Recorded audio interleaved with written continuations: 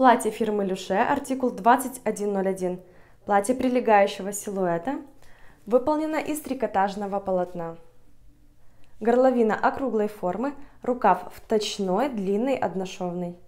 На передних полочках обработаны нагрудные выточки. Также перед с декоративным элементом и пуговицами по планке.